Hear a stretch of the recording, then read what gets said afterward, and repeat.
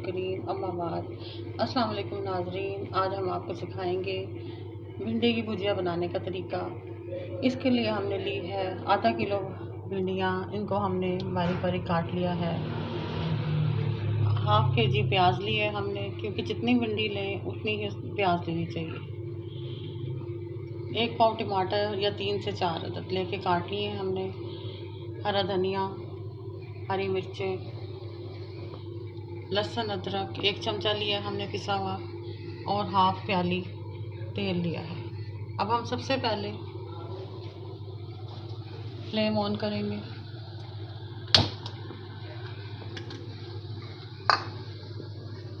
इसमें हम डालेंगे ऑयल।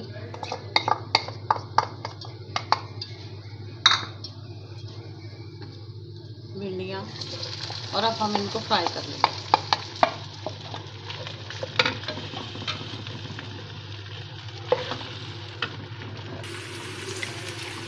बिस्मिल्लाहिर्रहमानिर्रहीम ये हमने इसको पाँच मिनट हो गए इसको फ्राई करते हुए मीडियम आँच के ऊपर।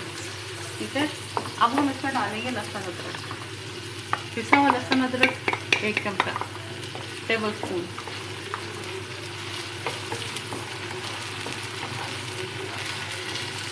इसको भी हम थोड़ा सा और फ्राई कर लेंगे।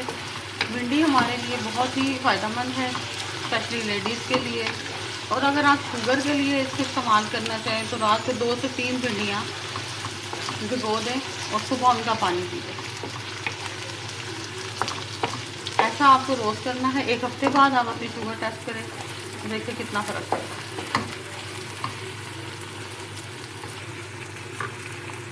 अब हम इसमें डालेंगे टमाटर।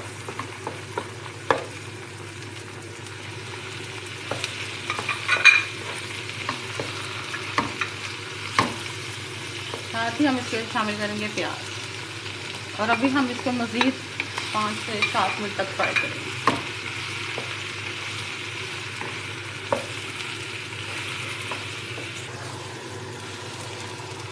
और नाजरीन, हमने इसको पाँच मिनट तक मज़ीद फ्राई किया है। अब हम इसमें डालेंगे दो चमचे नमक टी स्पून चाहे तो आप हसले जायका भी डाल सकते हैं। दो चमचे पिसी हुई मिर्चें, या आप हंसवे जायका भी कर सकते हैं। हल्दी क्वार्टर चमचा।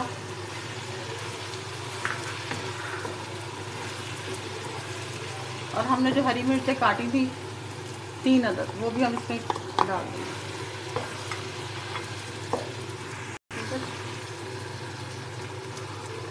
अब हम इसमें हाफ़ धनिया जो काटा हुआ है वो इस्तेमाल कर लेंगे। और बाकी जो है हाफ़ बाद में गार्निशिंग के लिए छोड़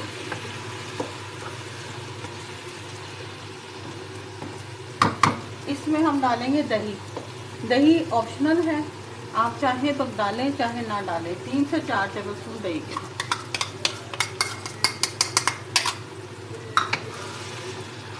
ये शामिल करके अब आप इसको दम लगा दें।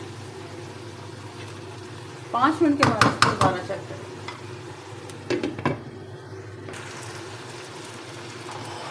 अब तो ये हमारी भिंडी को पकते हुए पाँच मिनट हुए हैं, हमने इसको थोड़ा सा हिला लेना है चमचा ठीक है? लेकिन अभी ये तैयार नहीं हुई है, इसको कम से कम पाँच मिनट और हल्के आँच दम लगा और नाजरीन, ये पाँच मिनट के बाद हमने इसको देखा है और अब ये माशाल्लाह से तैयार हो गई तैयार हो गई है। अब मैं इसको बाउल में निकाल लूँगी और नाजरीन, हमने इसको डिश आउट कर लिया है और इसको धनिया से गार्निश कर लिया है। उम्मीद है आपको मेरी बनाई हुई भिंडी की भुजिया पसंद आएगी। इसको अपने दोस्तों के साथ शेयर करें लाइक करें और मेरे चैनल को सब्सक्राइब करें। दुआओं में याद रखिएगा। अल्लाह हाफिज़।